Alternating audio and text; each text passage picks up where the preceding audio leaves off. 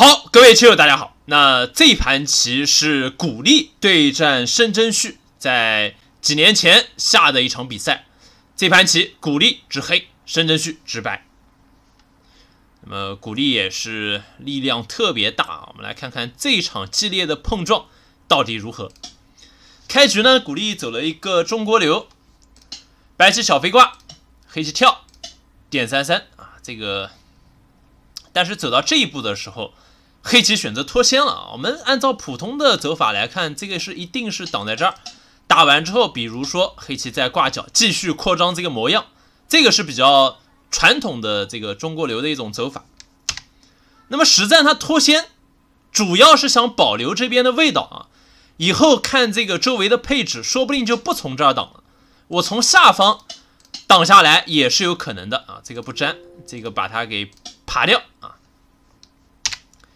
好，那实战黑棋点三三，白棋往这儿一飞，黑棋拖啊，白棋搬下去，看似走成了一个米刀，但是呢，黑棋是断在外边，那么这个形状就还原成，就相当于啊，白棋飞的时候，黑棋顶完之后再断啊，这个定型差不多。好，我们来看实战。白棋长，黑棋二路搬粘，这个是必须的手法。黑白棋再往这儿一虎啊，黑棋这个时候是飞在外面啊。这个棋如果你粘的话，那么就亏大了，被白棋在外面补这么一手啊，那黑棋全部被包在里面，这个完全不能接受啊。所以说是飞在外面。那么白棋实战是走的打，当然了，也有这种直接打吃的走手法啊，这个跟贞子其实关系不大。白棋就算争子不利啊，他也可以这么下，因为打完之后呢，他就把上方给吃掉。黑棋往这儿先手搬一个二字头，白棋补掉这个双打吃，黑棋上方再一断打，再一打啊，那么白棋这个地方也不可能提了，就直接出头。黑棋提掉，活一个角，白棋贴出来，那么黑棋上方这两颗子就看清了啊，因为你也没办法跑，打吃。那么白棋如果打呢，这个棋还不太肯啊，被黑棋这么拍一下，再往这个旁边去欺负你这个底下这一块，那不是很好啊。所以说白棋跳一个，这个这两个子啊，双方都看得比较清。黑棋马上挖粘，把这个子给救出来。白棋再一粘，黑棋再往外一跳啊，白棋再把旁边跳出头。其实这种形状还是一个定式啊，但是在这个场合呢，白棋还是。可以满意的，刚好跟右边的这一些子力配合啊，把上方的这个空给牢牢的围住啊。而且黑棋中央多了一块这个孤棋之后，对于以后这个中国流的发展也会产生一些影响，因为会让白棋越走越厚嘛。好，我们来看实战啊，实战它走的是二路打，那么黑棋从这儿一断啊，那么这个棋下一手白棋没有粘啊，直接打吃。这个棋就会产生一个分支了，黑棋呢可以像实战一样选择长出来，也可以单提，单提就比较简单一点。白棋提啊，虽然看上去好像黑棋亏了，是吧？被白棋外面提的这么厚，刚才这颗夹击的子也成为了一个非常尴尬的位置。但是我们配合这个全局来看，黑棋在右上角的这个保留恰到好处。因为这个时候可以选择搬下来，爬白棋飞，黑棋再飞过来啊，刚好限制住了白棋左边这个后势的这个威力，并且呢，白棋这儿还欠了一手冲断，所以说黑棋这么简明的定型也可以。好，我们来看实战啊，实战鼓励还是选择跑出来，那么白棋粘，黑棋往这儿一打，白棋提掉，黑棋下一手断打粘上啊，这个都是必须手，黑棋脚上一打吃。白棋在补棋之前，先把外面来一个断打，再选择跳出。黑棋提掉啊，因为你这个不提的话，被白棋先手往这儿一拔，你这个棋再去做活就亏了啊，被白棋先手便宜，相当于一个逆收啊。吃掉之后呢，白棋再往外长，黑棋往中央一小间啊，那么双方也是各自处理好这个所有的棋块。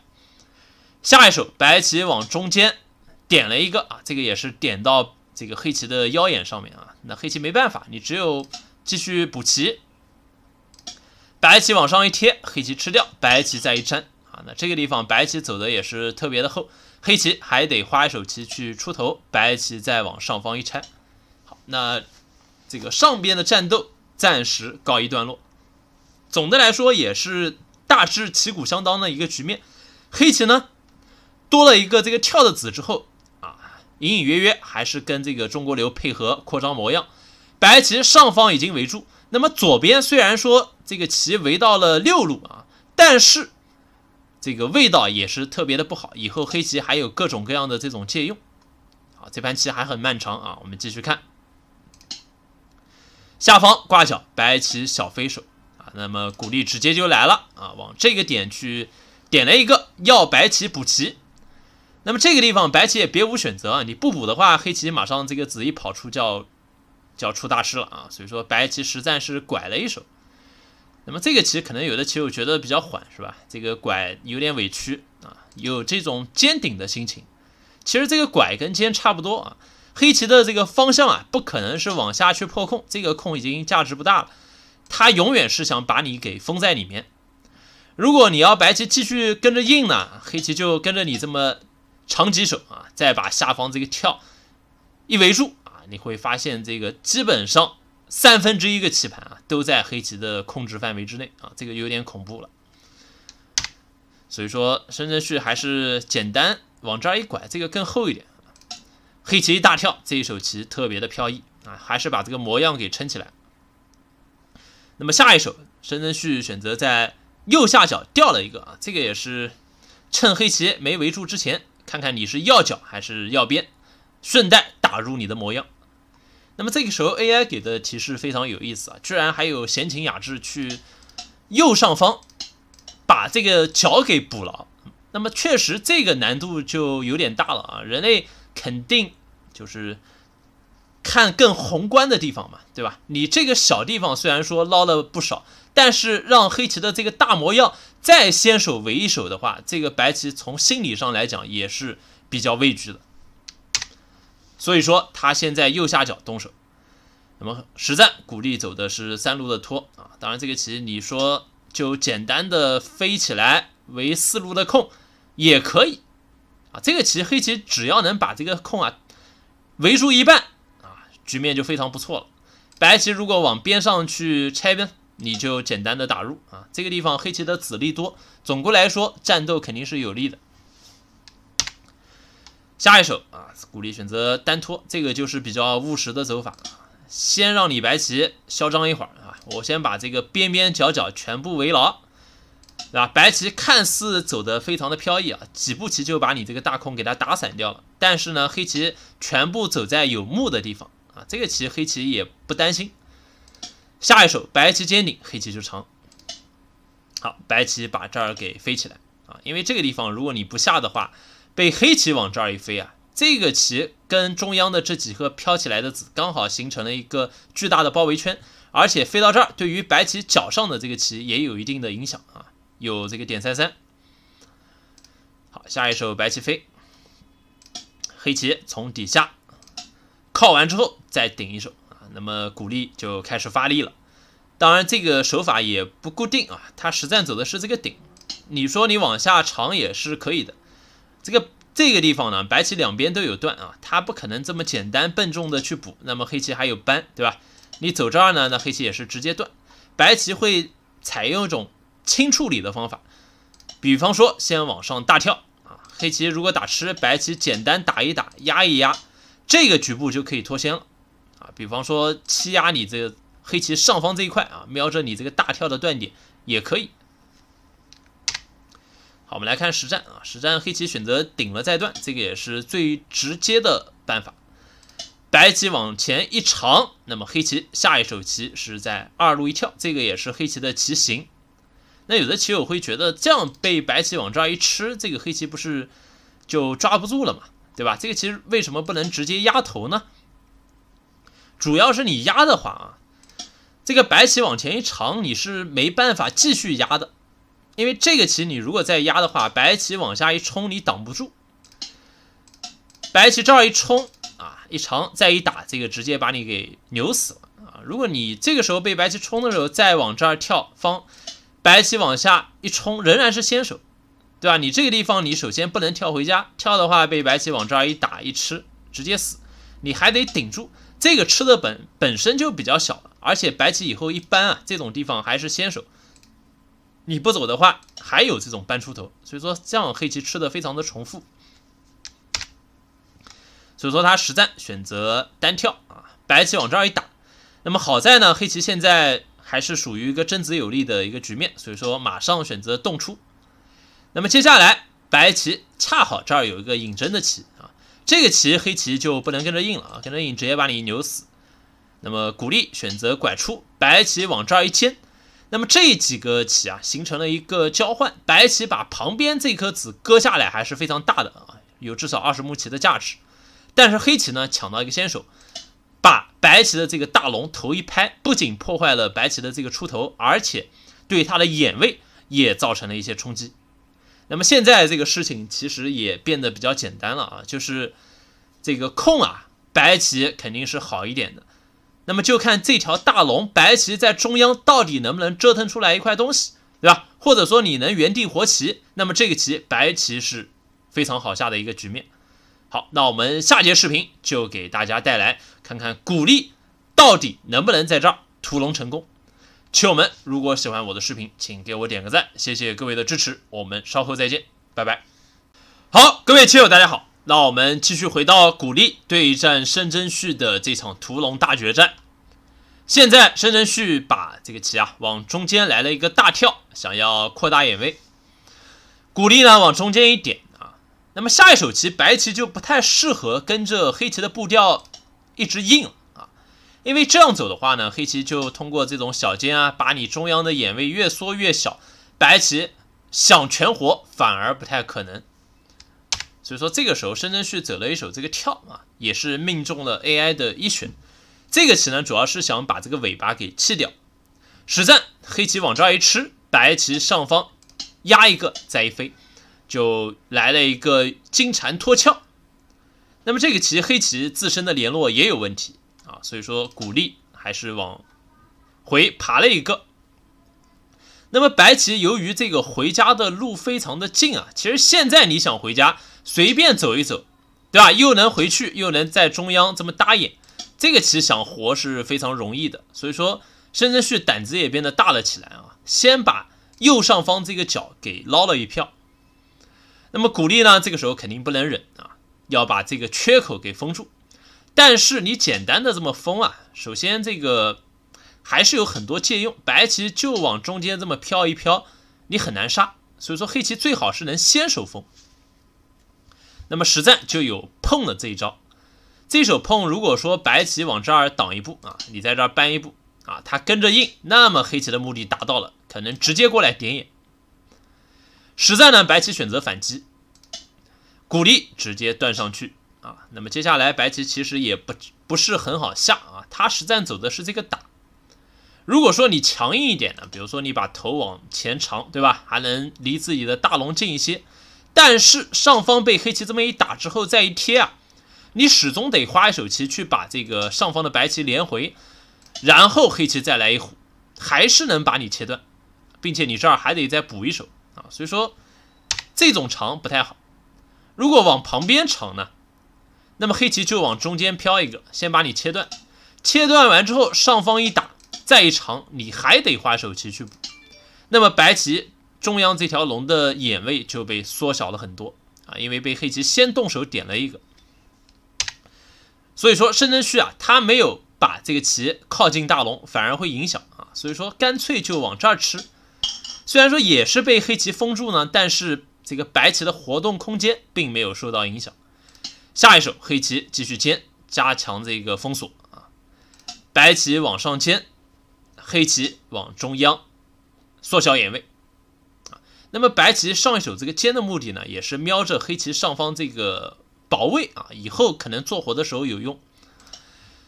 下一手，白棋继续往这儿尖搭眼，黑棋往里面尖刺啊。那么这个棋，其实我们要注意啊，你先不要往右边去冲。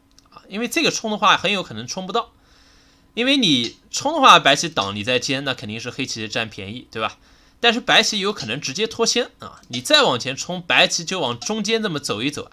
你这个棋想把它完全抓住是比较难的，因为你黑棋自身也是有些缺陷的，这个需要注意啊！次序一定不能搞错，先往这儿尖眼，白棋继续往外冲，那么黑棋故技重施啊，因为左边还有一个缺口，所以说古力又用了一手碰啊。这个碰呢，白棋不可能去挺头的，因为被黑棋穿下去。先不管这个大龙能不能回家，你这个左边的大空就被黑棋全部破光了啊！白棋肯定得不偿失。所以说他挡一步是毋庸置疑的。黑棋继续往前封锁。好，这个时候申真谞把底下的这这些残子啊全部拽出，因为这些子不是贪图目数的问题啊，而是他连回家时候啊是带着眼位的。所以说这个非常的科学走的，下一手黑棋继续刺眼，白棋就没命的往前冲，鼓励下一手继续封锁。那么这一手棋其实不是绝对的先手啊，白棋现在完全可以脱先啊，比方说在中间这么打打眼，黑棋左边无非就这么打一下，首先他也不敢藏进去，对吧？藏进去被白棋一断，这个底下黑棋不太好活。他粘呢，白棋就搬住，往里面搬我就断啊，似乎也没有棋，最多是被这个黑棋冲击一下目数啊。这个时候目数不是最重要的，重要的是把这个大龙给活掉。那么申真谞也是非常给面子啊，黑棋往这儿封了一手，白棋就跟着挤了一手，然后黑棋打吃，白棋粘上，黑棋继续在天元封锁。好，那么现在到了最关键的时刻，我们来看看申真谞能不能活啊。先往这儿一粘，那么这个粘呢，明显再往上一冲就有一只眼啊，但是黑棋也不能粘，粘的话呢，被白棋往这儿一断，你这个黑棋有危险啊，你从这儿打完之后再冲，白棋往左边再一冲，你会发现黑棋的这个棋形已经完全碎掉，所以说不能这么下，这个眼是要给白棋的，往上并一手，并完之后呢，申真谞还要再断一下啊。要求黑棋看怎么补啊？你要从这儿补，以后可能像这种棋啊，就反正非常头疼啊。黑棋拐打，白棋往上一挤啊，继续把这个眼位做出来。那么黑棋把下方一双，先破一只眼。白棋这个只能往上面寻求突破了啊，冲了一个，黑棋顶住啊。那么这个棋不能扳头啊，棋我们要注意，如果扳头的话，被白棋先手这么一切断。不管是往这儿尖也好，还是搭下去也好，黑棋整个右上角也是比较危险的，因为你这个四处漏着风，也没有这个眼位啊，所以说不能这么下，顶一个补断。那么白棋往这儿一长，先手，再往前长，黑棋挡住，白棋把这个一吃，那么现在明显白棋已经有一只眼啊，再走一下后手两只眼，所以说黑棋必须要跟着冲破眼再冲。好，下一手申真谞往底下去尖，那么就看这个底下的情况了。黑棋继续尖，白棋再冲。那么这个棋呢，实战鼓励是往这个二路去搬了一下啊。这个棋确实让白棋单纯的在底下做眼是做不出来的。但是呢，你如果不走的话，白棋是有这么一挤，挤的话呢，黑棋得补断。然后白棋这儿有一虎，你得粘。白棋往这儿一断的时候，我们会发现黑棋就不行了。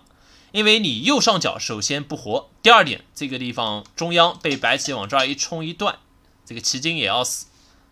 所以说黑棋的这手扳不是为了破眼，而是为了给自己的右上角留下来一条回家的路。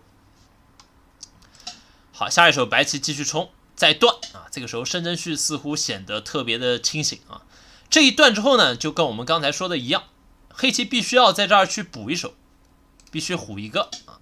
如果你不走的话，被白棋往这儿一挤，你还是得补断。这边再一虎，那就还原成刚才的变化图了，黑棋的棋筋就死掉了。所以说黑棋得原地虎一手，申真谞继续往中间冲啊，再冲。那么下到这手时候呢，古力就认输了，因为我们注意到啊，这个黑棋中间的大龙突然也不活了。假如说继续下下去的话，你挡住，白棋往这儿一冲，先手。对吧？因为马上这个地方有断打，你得顶住。白棋继续往里面拱，又是先手，还有断打，你得挡住。这儿先手一吃破一只眼，然后往上一拐，这个拐同样黑棋也得补双打吃，白棋往这儿一横，黑棋往下一冲一粘，白棋再一粘，那么就形成了两块大龙的杀气。那么这个气呢，其实黑棋是差很多口的。我们来继续看，如果你提掉的话，白棋就往前一冲啊，你再冲它再连，对吧？你从这儿恰一步，白棋粘上，你再往里面破眼，这个地方形成了一个弯三，黑棋得点眼，白棋粘上长气，黑棋再收气，白棋就收外气就可以了啊。这儿啊挤这儿最好啊，挤这儿，然后继续收。黑棋全是假眼嘛，黑棋再收这边随便一打，对吧？这个地方已经不用再摆了，这个黑棋气差的实在是太多了，所以说这盘棋啊，可以说鼓励布下了一个好局啊，把这个模样扩得很大。但是呢，申真谞可以说从打入那一刻开始，他的思路就特别的清晰，一开始想要弃子啊，弃到最后又把这些残子全部拽回搭眼。虽然说鼓励也下了非常多的妙手，比如说上方的这个碰。左边的碰都想先手把白棋封住，但是在这个确实不能怪这个手法啊，只能说想屠这条大龙确实难度非常高，因为黑棋本身这个模样啊就比较空旷，而且自身的这个棋也比较薄，可以说是申真虚啊完美发挥的一盘棋。好，希望球们看得过瘾。如果喜欢我的视频，请给我点个赞，谢谢各位的支持。我们下期视频再见，拜拜。